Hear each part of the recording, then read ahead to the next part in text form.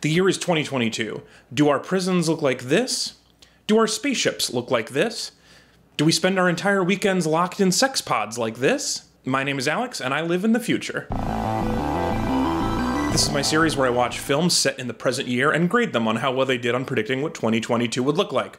This week I'm watching the 1993 film Alien Intruder starring Billy Dee Williams, who you may recognize from such incredible films as Lego Star Wars Holiday Special, Robot Chicken, colon, Star Wars Episode 2, and of course Snoop Dogg's Hood of Horror. An American spaceship has gone missing somewhere in space in the mysterious G sector. And if you're trying to figure out how to find the G sector, what you do is you just put your finger into space and then give it a come hither motion. Because it's so dangerous up there, they staff the entire mission with guys they got out of horny space prison. They not only recruit men who have done horrible crimes, they're also extremely horny. Blew and armored car took out a pizza joint along with it. Five dead. You like to blow things, huh? Not as much as I like them. At first, the guys are like, no thanks, prison's good enough for me. Then they find out that they'll get to spend their weekends in the Aphrodite program, a virtual reality sex pod where they get to live out their most complicated and historically inaccurate fantasies. And to be clear, when I say spend the weekend, I mean the entire weekend. Like they clock out at 5 o'clock on Friday and immediately dive headfirst into these pods, and then they wake up Monday morning at 9 and they get out of the pods like sore and like sticky, I assume, and then go straight back to work. Is it restful? No. But is it fun?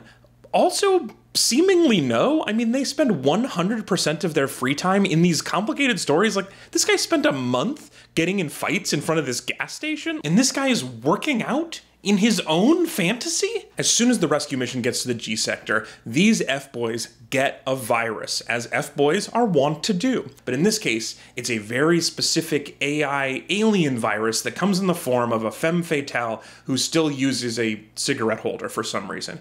And she is also a witch? I don't know. She bewitches everybody. She hypnotizes them, I guess, into just wanting to kill each other for no reason. And for Commander Billy Dee Williams, he's like, man, this deal keeps getting worse all the time. I'm not really sure I understand the alien strategy here. The only thing they're able to defend against is barges full of horny prison men. Like, if NASA sent a single straight lady or gay man, it would be over for the aliens. Like, that's all it would take. Now, admittedly, NASA's hiring practices don't seem to have diversity in mind, given that their payment program is just time that you get to spend in the heterosex pod. First of all, they love lasers in this movie. That the guns are lasers, the prison bars are lasers. Which can you imagine the power consumption of having your prison bars be 24/7 giant laser beams when you could just have a door for free? It doesn't make a ton of sense. I mean, that's why for us lasers are mostly just like to entertain cats and annoy pilots. So, negative 50 points, we are like nowhere close to this amount of lasers. There's this android on the ship, and everybody's mean to him for absolutely no reason and it kind of reminds me of how I talk to my Google Home, so plausible, plus four points. This is what their board games look like, and uh, I don't see enough expensive expansion pack potential on this game, minus seven points. I'm supposed to believe this is what the inside of a spaceship looks like. I, this is the cheapest set I've ever seen for a spaceship. Could you only afford to film in a closed Home Depot? Negative 30 points. Probably the funniest thing about this future is two very small but very specific misses, which they predict that music in the future will be done on very small CDs and that everyone will work out on a Bowflex machine. And that is just so beautifully specific for the early 90s. So negative 93 points for that. Overall, not good. There's very little to recommend this futurism. I'm gonna give them one and a half stars out of seven. But should you watch this movie?